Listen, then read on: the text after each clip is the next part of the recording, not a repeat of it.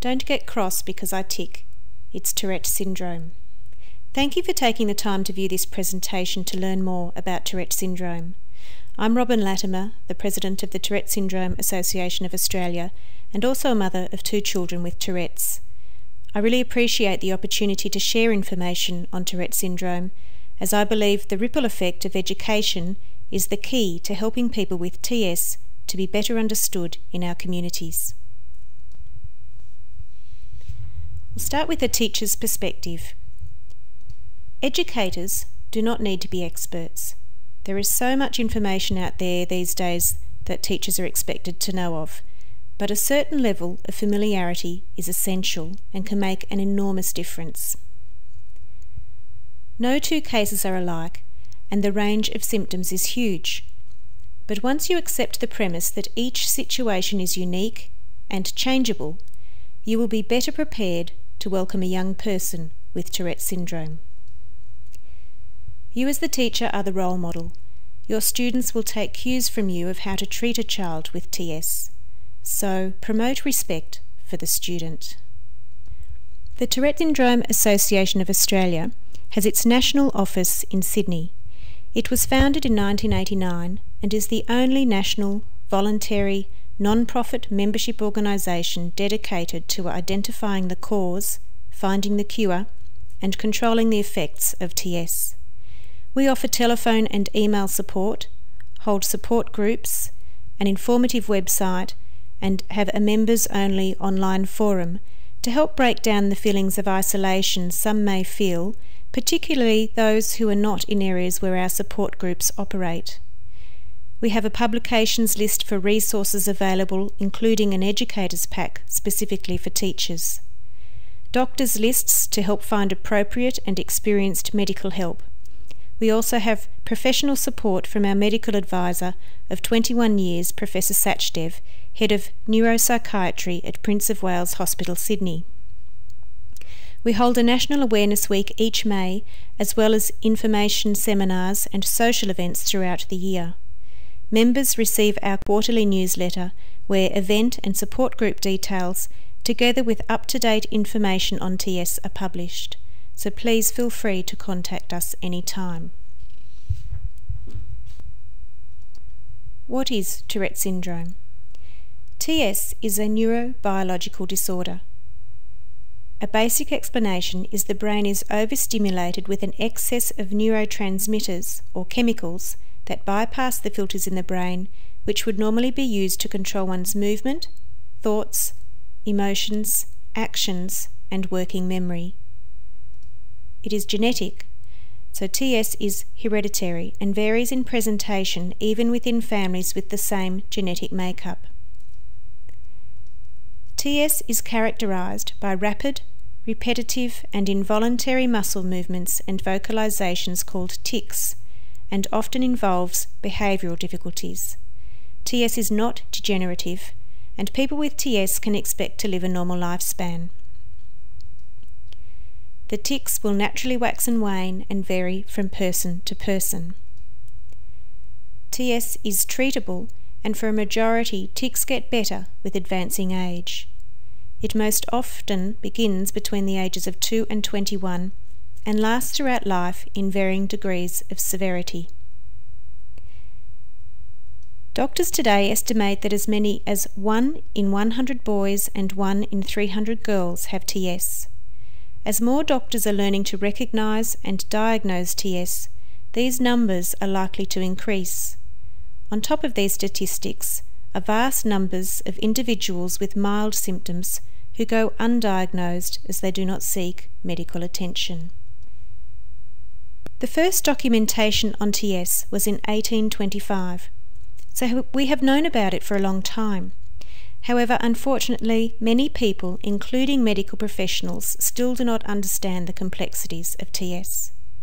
Appropriate medical care can help control the symptoms.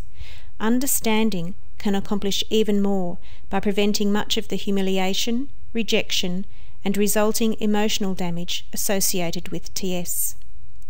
TS can upset many aspects of a person's life, both public and private, as well as the lives of peers, relatives, teachers, employers, and co workers.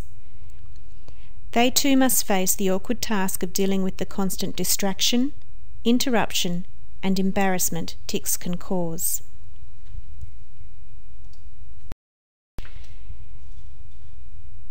Here you can see a chart of common tics of Tourette syndrome.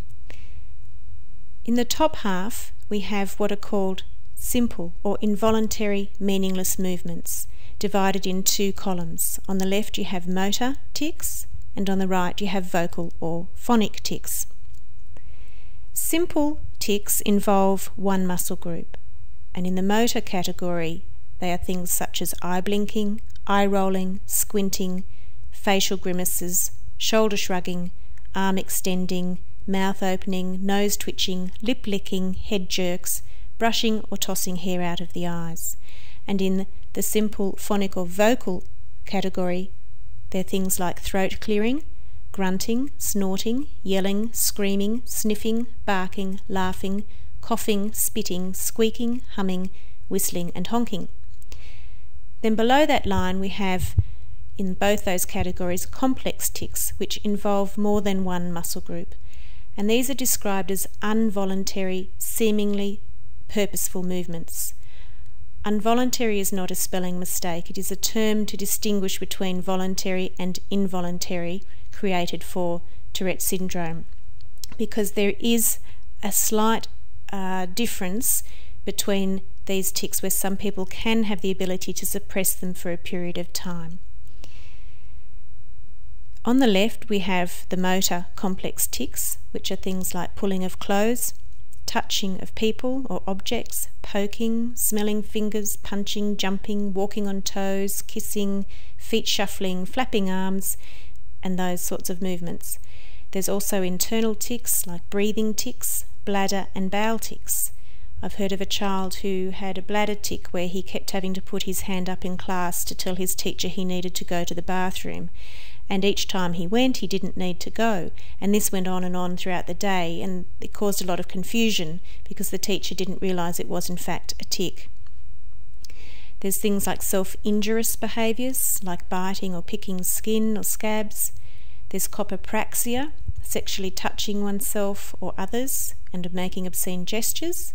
There's echopraxia, which is echoing or taking on others' actions and the repetition of your own actions and there's coprographia, which is the writing of obscene words or phrases.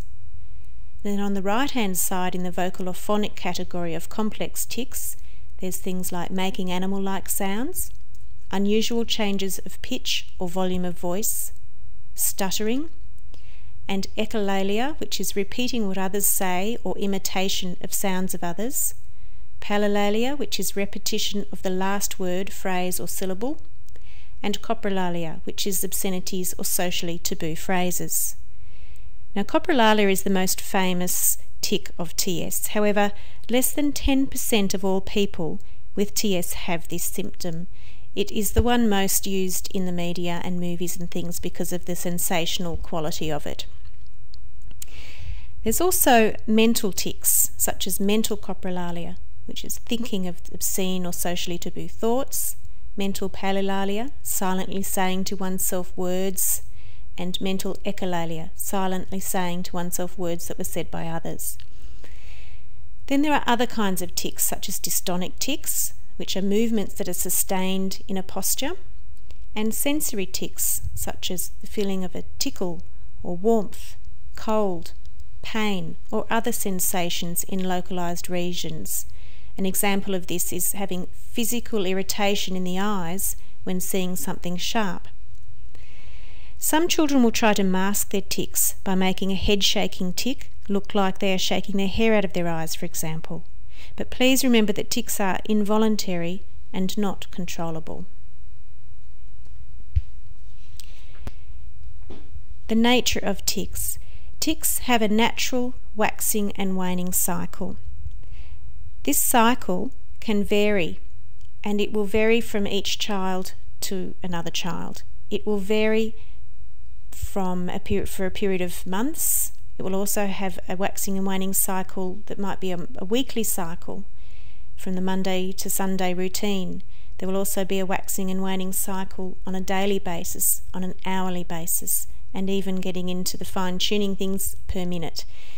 Um, things that affect this waxing and waning cycle are individual. However, some common stories are, for example, the cycle of a school term might be the beginning of school term and the end of school term are the waxing phases when symptoms are exacerbated or peaking, and in the middle of term when things are more settled and routined are when they are likely to be waning. Some children I hear of um, do better during school holidays because they're more relaxed. However, some children actually wax more during the school holidays because of the loss of routine. So it is a very individual condition, um, but just be aware that this happens. It can cause a lot of confusion because sometimes a child might be really on the ball and able to concentrate and focus and do their schoolwork and not be having tics in one week, and then the following week their focus or attentional problems are exacerbated, their tics are exacerbated, and it may appear um, to the untrained eye as though it is put on and purposeful when in fact it's not. It's just the difference of these natural waxing and waning cycles. There are times when symptoms of TS are absent because a person is absorbed in an activity that is compelling for them. For example, there's a surgeon in the US with TS who can perform operations tic free without having to consciously suppress them. But suppressing is difficult, exhausting, and often results in explosion tics later in the day. So some assume and expect students are able to control their tics when they want. But this is not the case for everyone. What makes us tick? Aggravations. What comes first with the comorbid disorders, the chicken or the egg?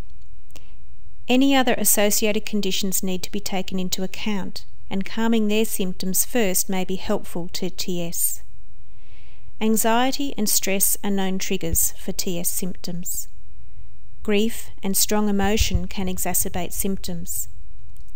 Excitement and good stress, such as holidays and transitions, can exacerbate. Hunger and tiredness. Substances particularly stimulants within um, sports drinks and uh, Coca Cola and things like that.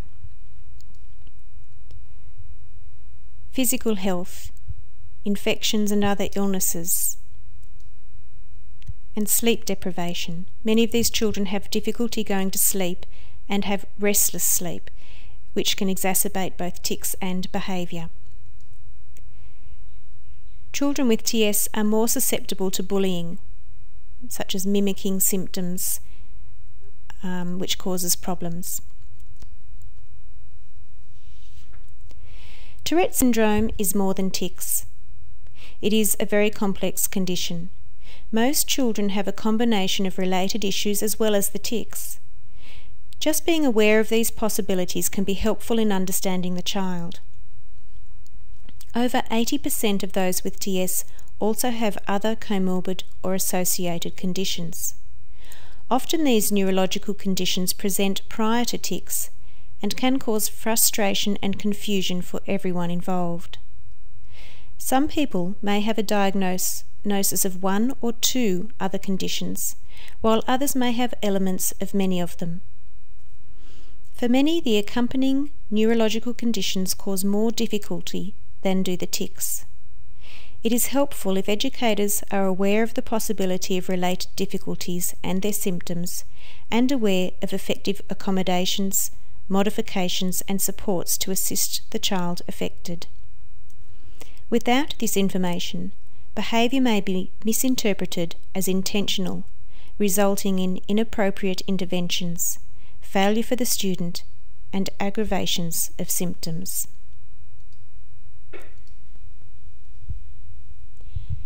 I'm just going to talk about a few of the more common associated conditions with Tourette syndrome. Dysgraphia is very common. Its characteristics include slow and laborious writing, hand and finger cramping, sloppy handwriting such as uneven spacing, irregular margins, and inconsistent lettering, the inability to copy correctly from book to paper or board to paper, the inability to transfer thoughts onto the paper. It doesn't mean they don't have the thoughts, it's just they can't get them from their brain down onto the paper. This can be addressed with the use of computer technologies. Some children are eligible for scribes. Other ways you can help is to ensure that notes taken throughout the day are supplied to them at the end of the day. Obsessive compulsive disorder, which is a type of anxiety. OCD is difficult to live with because it is often invisible. Depending on how mild or severe, it may go unrecognised by the parent. Living with OCD can make a child feel stuck or driven to perfectionism. Obsessions are intrusive, unwanted, and recurring thoughts, images, or impulses which cause distress. And compulsions are behaviours or actions performed to alleviate the distress caused by those unwanted, intrusive thoughts. Common obsessions are unrealistic fears and worries, concern for symmetry or need for certainty. And typical compulsions are repetitive behaviours or rituals, such as rereading, rewriting, checking, cleaning, counting, ordering, or doing something until it feels just right. Seeking reassurance by asking the same question repeatedly despite having been answered. OCD is often not apparent to the teacher or other students. Compulsions often need to be performed over and over again. Some children do not tell anyone about their obsessions or compulsions as they know they are irrational and make them feel crazy. This leads to feelings of isolation. They need to know they are living with a recognised condition to reassure them.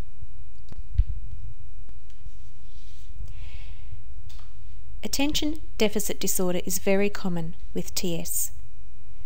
It is a combination of inattention, impulsive behaviour, poor concentration, poor short term memory with or without hyperactivity, excitability, and problems with executive function. Most boys with ADHD stand out because of hyperactivity and that kind of activity. In girls, one of the most common symptoms is incessant talking and the need to continually speak and finish what they're saying even when they've been asked to stop. This learning disorder may be self perpetuating. Failure leads to frustration, which leads to anxiety about performance, which then exacerbates the failure. Problems may occur when the student is transitioning from one task to another, has sudden schedule change, has unstructured time in the classroom or playground, is given several instructions at once, is given a long assignment, is looking for someone to sit with at lunchtime, or has to sit still for any length of time. Executive dysfunction is often associated with ADHD, and its difficulties include managing time, forming goals, organising materials and activities, starting and completing tasks, breaking down long assignments and projects, sequencing information, and dealing with the unexpected. Executive dysfunction involves the frontal lobe of the brain, which is responsible for organisation of time, materials, belongings, and thoughts. Students may appear lazy, purposely forgetful, deliberately late and unmotivated. Living with TS. What matters most, the behavioural issues or the tics? Address the main problems for the individual. Often these are not the tics or will fluctuate between the two at different times and ages. Often in younger children, the tics are not so much of an issue. It might be more the behavioural, because they're in environments where a lot of movement and noise is permitted. But as the children grow older, they're expected to sit still and quiet for longer periods of time, and that's often when the tics will become more of an issue.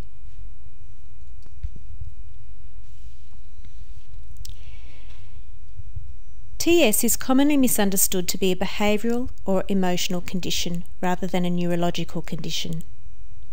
Typical behavioural intervention is a reactive program based on rewards and consequences. However, a proactive and positive approach is best suited to meet the needs of Tourette syndrome. An example is a child wearing glasses. They are not told to remove their glasses and use a bit more willpower and they'll be able to read the blackboard. It is accepted that they have that need and they are allowed to have that proactive support. They may also be positioned in a better spot in the classroom so that they can see the blackboard more clearly. That's another proactive support. I'm going to play a game with you. I'd like everyone to stand up. Even if you're listening to this on your own, I'd really like you to participate.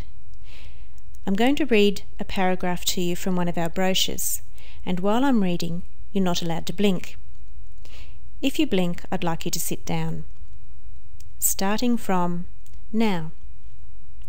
Tourette syndrome is a neurological disorder which most often begins between the ages of 2 and 21 and lasts throughout life. TS is not degenerative, and people with TS can expect to live a normal lifespan. TS is characterized by rapid, repetitive, and involuntary muscle movements and vocalizations called tics, and often involves behavioral difficulties. The term involuntary used to describe tics is a source of confusion, since it is known that most people with TS do have some control over their symptoms. What is often not recognised is that the control, which can be exerted from seconds to hours at a time, only delays more severe outbursts of symptoms. Tics are experienced as irresistible and eventually must be performed. I'll stop there. Those of you who are still standing, I have some questions for you. First of all, can you tell me what I just read? Most of you will be able to just give me a general outline, but not many specifics. And when I ask why that is, they say because they were focusing so hard on not blinking, they couldn't hear what I was saying. This is what it's like for a child in the classroom to suppress tics, to be holding them off. They have to focus on holding off the tics and therefore cannot be hearing the instructions given by the teacher. So it comes at a great cost for their ability to learn. My second question is the longer you're held off, you're blinking, did the urge or desire to blink become stronger or weaker? Most people respond with stronger. Again, this is what it's like when you're suppressing tics. The build up gets stronger and stronger until eventually you have to perform the tic.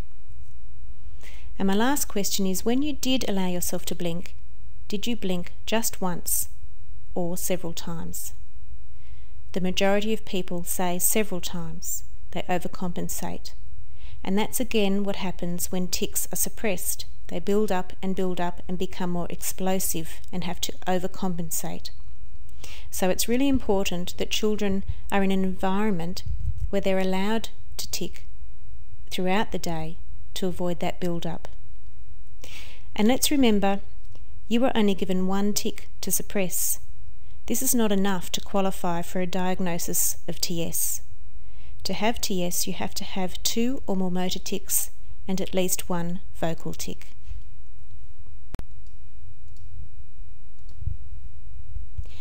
So, what reduces the symptoms? Medication. This is used for tics as well as for related behaviours such as ADHD, OCD, anxiety, etc., as part of the management strategy. An experienced physician is very important. There is no medication specific for Tourette syndrome, so it's very much trial and error, and there are always side effects. Unfortunately, you can't drug the part of the brain specific to Tourette's, it drugs the entire brain. The environment, family dynamics to everyday routines really affect Tourette syndrome. So planning and systematic organisation are difficult for some. So creating a calm, routine environment is helpful. Physical activity is a real win-win sport and physical activity channel those excess energy that excess energy positively while improving mood and physical health. Focused activities. Hyperfocus is an advantage of Tourette syndrome. Talents and hobbies can relieve symptoms of TS if absorbing. Finding what that particular interesting, absorbing hobby is for that child is so important. If they can find one thing they're good at and are interested in, they can experience what it's like to be tic free and they can also experience success. Managing tics through awareness training, cognitive behaviour therapy, habit reversal training, competing response, and a new therapy called CBIT, which stands for Comprehensive Behavioural Intervention for Tics, is proving very good, although there's not many people in Australia trained in this treatment at this stage. Relaxation, family, and social support. With these kind of help, uh, a psychologist is a good place to start.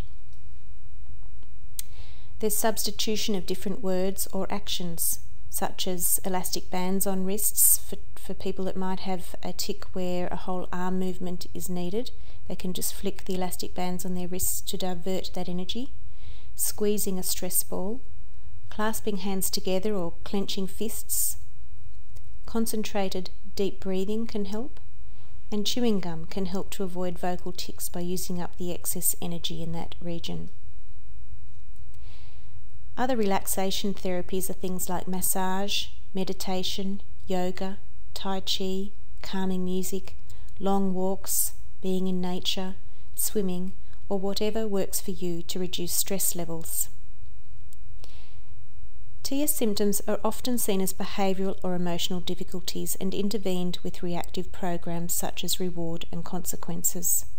However, as TS is a neurological problem, it should be given a proactive and positive approach. Classroom modifications. Firstly, you need to create an emotionally safe environment. These strategies will help both the teacher and student experience success.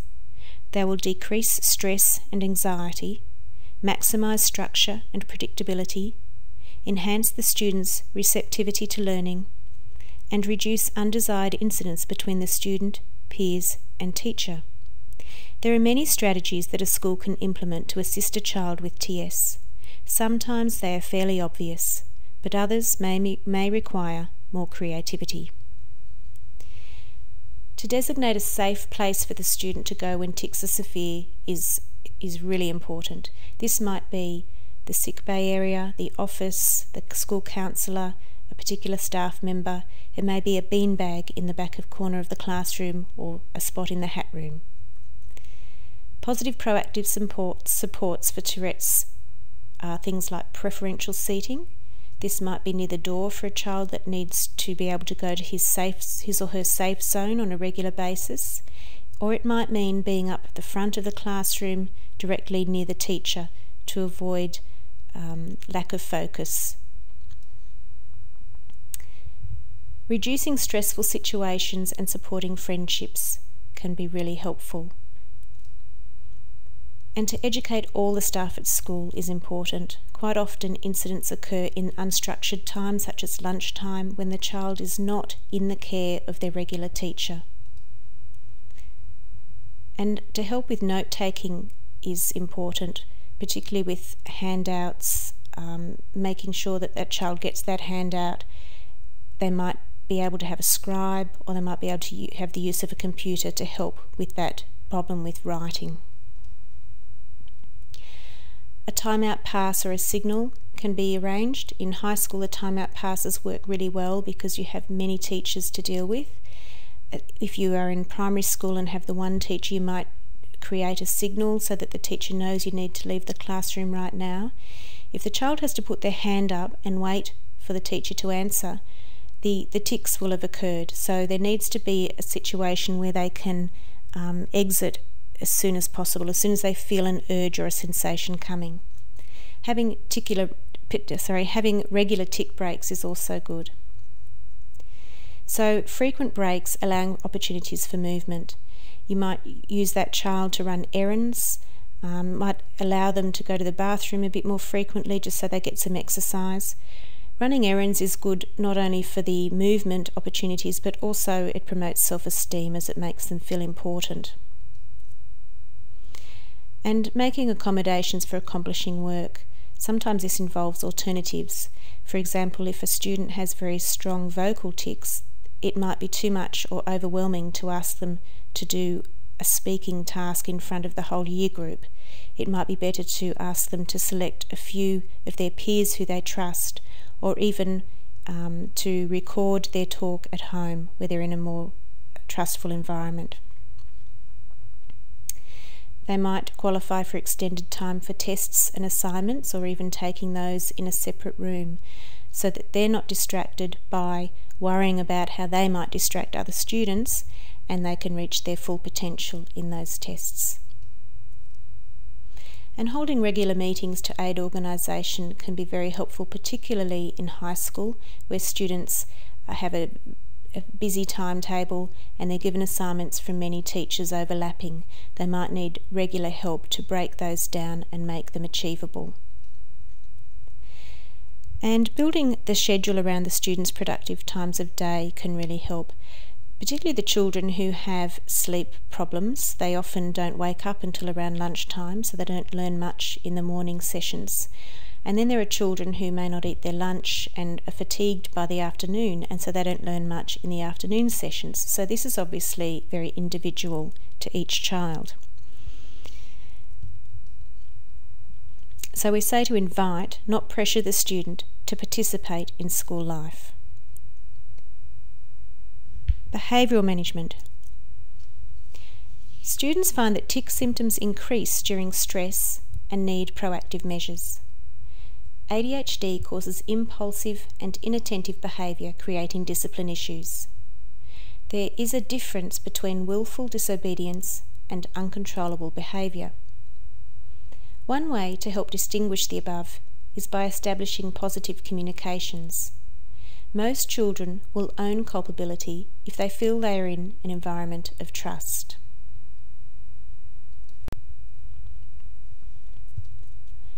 Behaviour is communication.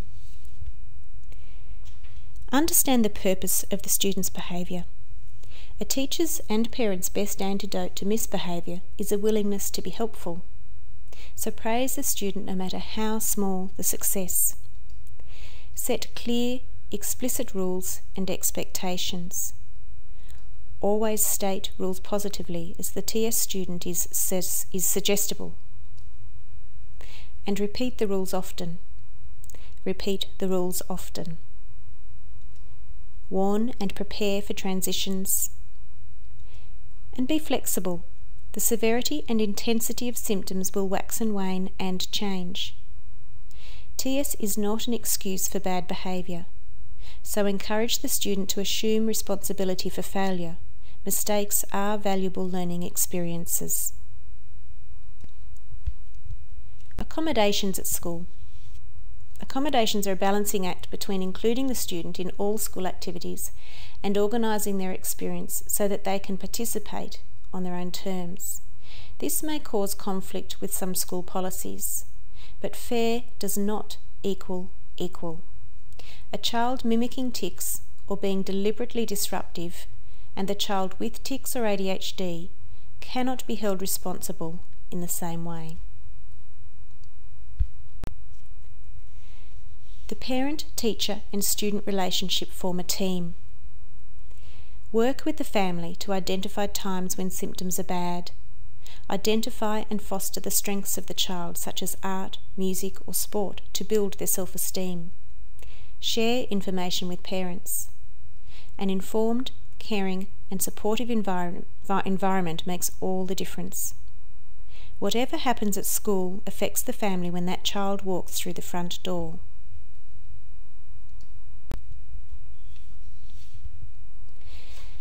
Factors of importance. For social adaptation, the seriousness of attentional problems and intelligence, which is not affected by TS, the degree of family acceptance and support and ego strength are often more important than the severity of motor and vocal tics. Some children with severe tics will go through life quite carefree because they have a strong ego, while other children who have seemingly innocuous or mild tics, yet a fragile ego, have devastating results from this condition.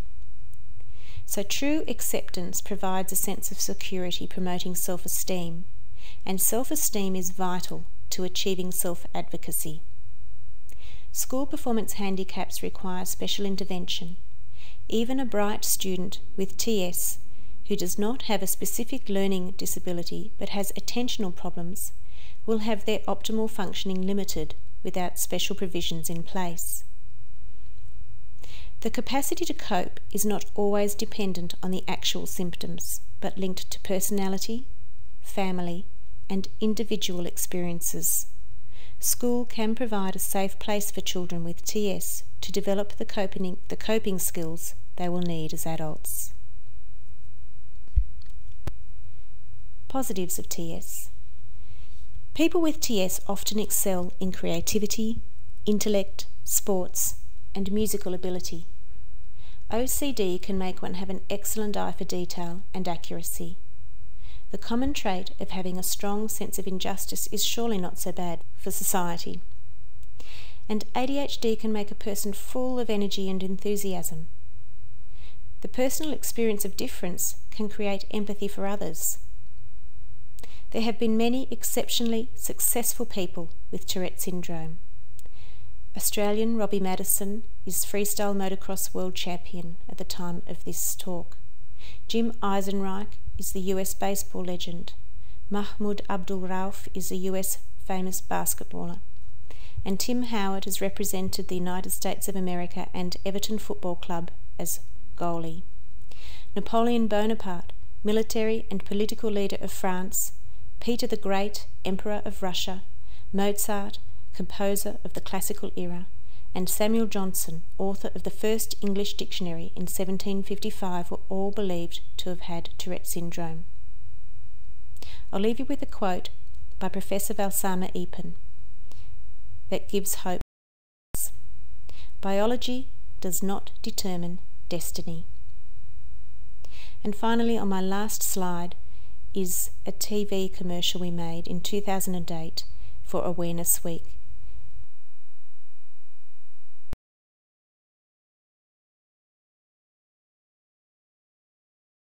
Sometimes it makes me feel embarrassed if there's somebody that says, hey, what did you do that for and stuff.